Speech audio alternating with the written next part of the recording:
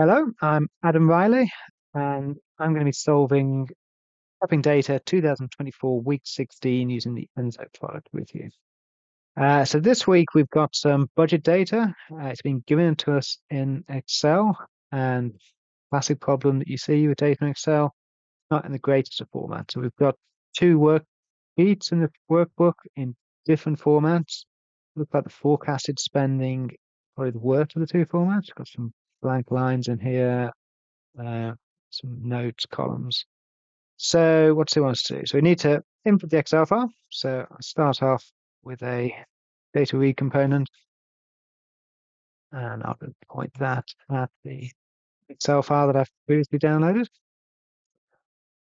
Remove the component. Uh, and then from there, I can read in the individual sheet. So I'll start with the budget sheet. So I think this one is the dirtier of the two. Look at that. And then the, yeah, so indeed. nothing rows, got this notes column we don't want. The minute hasn't auto detected the headers. So let's start by doing that. So if we use first row as name, the first row into the headers. There we go. So then we can get rid of this notes column. So remove column uh, notes. That's looking a bit better. Um, so 2022, that's actually the category column. So if we rename that column to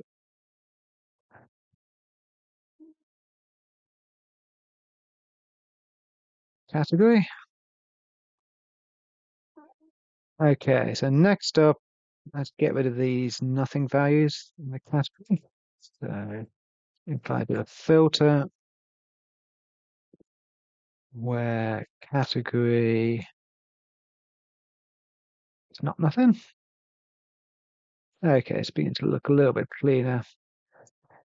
Okay, so next problem I've got is I've got these A's, it represents thousands. So I need to update that. So I'll do a text replace. Um, so I'll do that on the category column. No, sorry, not the category column, on the budget column. And I'm going to replace the K's with, please do it like that. Um, okay, expected chart type, I've got a column budget of type mixed. Okay, so the problem is, is because this data is dirty in Excel, coming to end there was a mixed type column. Text replace works on text columns. So, okay, if I do a cast first, I'm going to cast the budget column to string. So, that's then they're going to let me fix up those K's. Now we've got the wages as 27,000 and then I can pass it back estimate it back to a number field, which is what I'm going to need. Um, so if we look there, that's back now to a number. Okay, so that's the first one. So now if I go back to the top, and again, come up here, this time work on the actual data. Uh, I guess I'll do it alongside the one that we did before.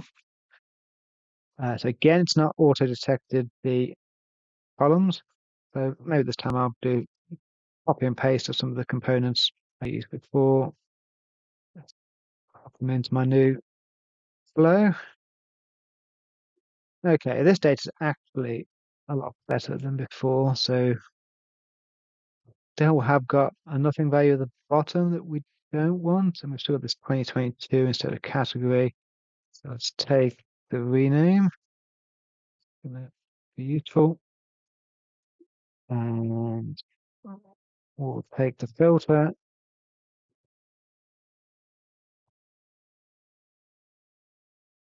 I think that's looking good. That's being actual. Yeah, so let's now here and let's join these two together. Um, join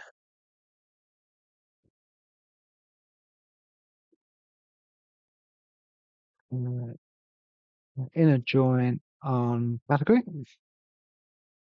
Looks good. And so now, what's it want me to do? Okay, so now it wants to rename the fields. Okay, we can do that. So another rename. Um, so the budget with the forecasted spending. Copy and paste these across. And the actual is the actual spending. Looking good. And now it wants the difference between forecast and actual values. Um, so I'll do a set component to create a new field. And I'll just do a simple expression for this. And I take the actual spending and subtract the forecast spending, that looks, yeah, looking good. And then new name for this difference. If I could spell. Um, if the right. Like that. Uh, okay, so now what we want to around that. So again, I can do that with the set command. Set simple expression difference.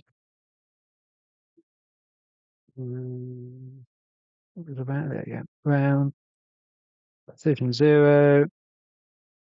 Yep, so that's the new column there. And if I that made into update, it would updated in place.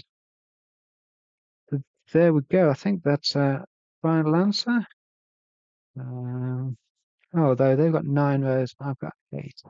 Where? Yeah, so we're missing transaction fees. Okay, so where did that go missing? Maybe in the join? Let's have a look. We and these two out before the join. So there's transaction fee. Oh, okay. So transaction fee on this side is missing the space, and so it's got a space here, it's missing the space on this side, so that's clearly not joining. So I guess I could do a lookup table to put the space in. I think a more robust solution there if I copy this text replace component, and I'm going to take the space out of the categories. The result won't quite match, but this is going to be more future proof for future dirty data. So make that the category field. I'm going to replace spaces with nothings. And then if we go down, we can see we've now got the nine rows with the transaction fees and those numbers are right. So there we have it.